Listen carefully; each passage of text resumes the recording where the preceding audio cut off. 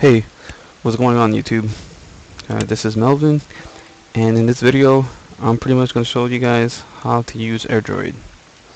That's an application that you could download on your on your Android phone, and you also have to uh, sort of just favorites it on your web browser, or just have the link on so you can access it from your web browser or from your computer.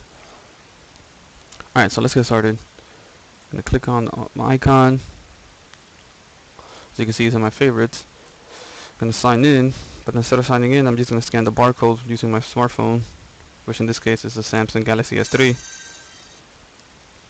And here we go. So first, I'm going to show you, well pretty much I'm going to explain the application a little bit. You pretty much connect to your Android phone from your computer uh, without using any cables. And all you have to do is be on the same Wi-Fi network or on the same network. So we're going to start with messages. I could pretty much, these are just some random numbers I created earlier.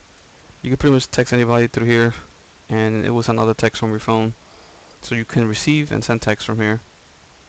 So just a nice way if, in most cases I, I don't have my phone.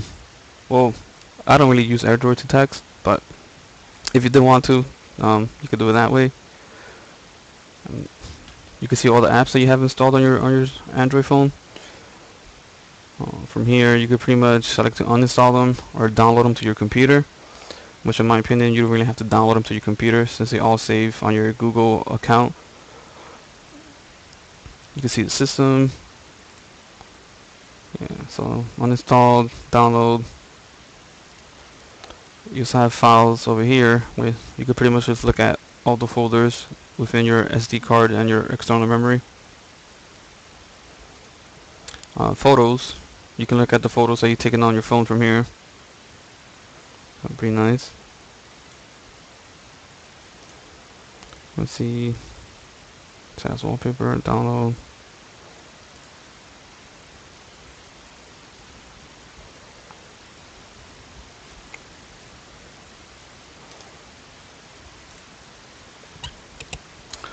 So that's enough of my photos. Next we have music. Oh yeah, that shortcut's not working for some reason, so I have to manually find my music, which is no big deal.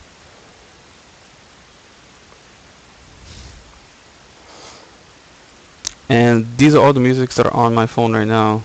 So one cool thing I like about this is that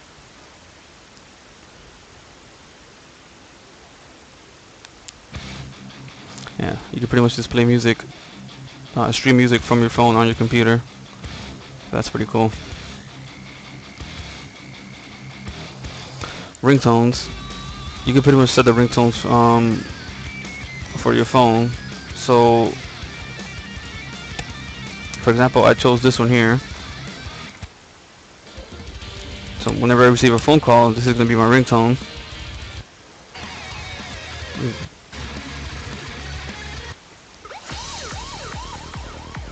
Yeah so I'm using this one the singularity singularity notifications. You can pretty much set your notifications also. Which I have this one which is what you might have heard earlier. And you can also set the alarms for your phone.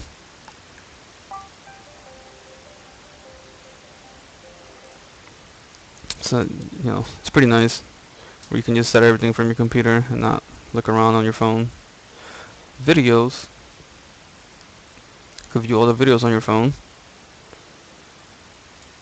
I'm going to show you one of me rocking out my guitar.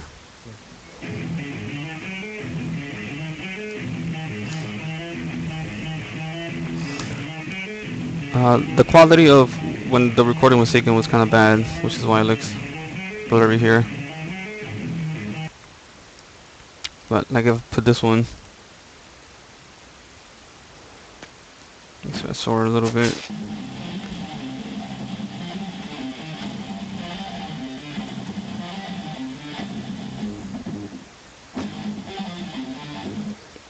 Alright, so that's video quality, or how to access videos from your computer. Call logs, not gonna get into. Contacts, frequent, screenshots, camera. You can use a camera from your from your phone. Oh, by the way, I used that little guy right there to launch AirDroid, which is why you didn't see it earlier because it's on my second monitor. And oh, I almost forgot. You can have multiple desktops, so in case you feel like you're getting cluttered, you two, three, four. You can access your messages from here, call, notifications, and languages. And also you can pretty much move everything around. Oh, yeah. You can move this. You can go into details about your phone.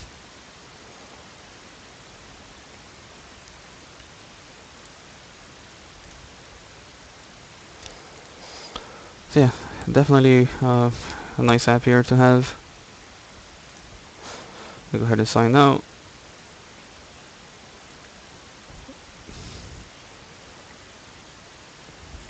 And let me show you my other Android device.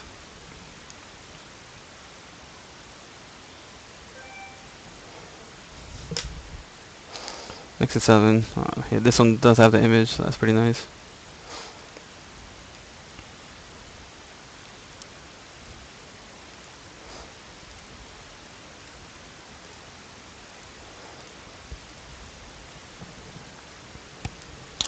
Oh, so this is just a basic account. This is where you're not logged in. So let me go ahead and log into my account.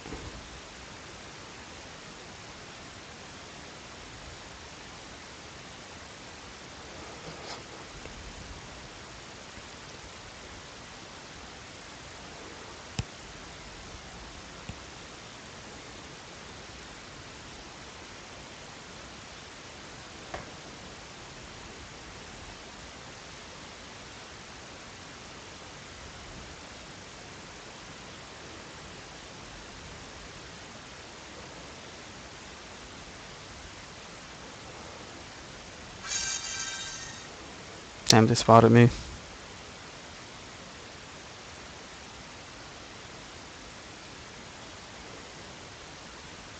Yeah, for some reason it's not working. Which is fine.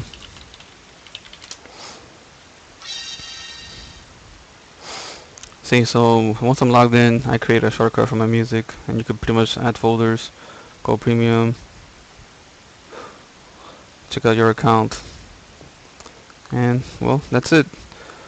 Um, thanks for so much for checking out this video on how to use AirDroid, and hope you have a good one.